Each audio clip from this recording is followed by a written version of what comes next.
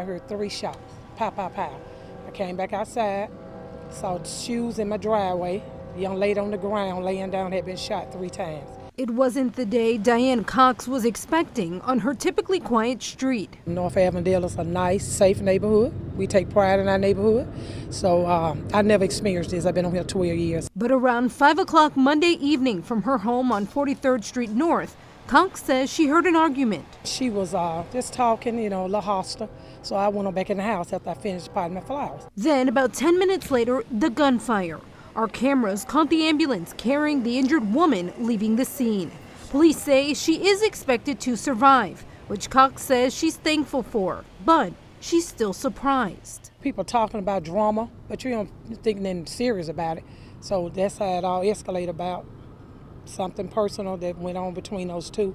And uh, she took it, it really went out of, was out of control. With a school across the street from where it all happened, Cox is also glad school was out for the day when the violence unfolded.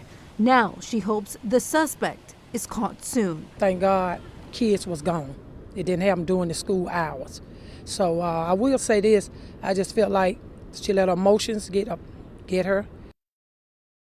And that was Gladys Bautista reporting. We reached out to police asking if anyone is in custody, and we have not yet heard back, but they do say the victim was targeted.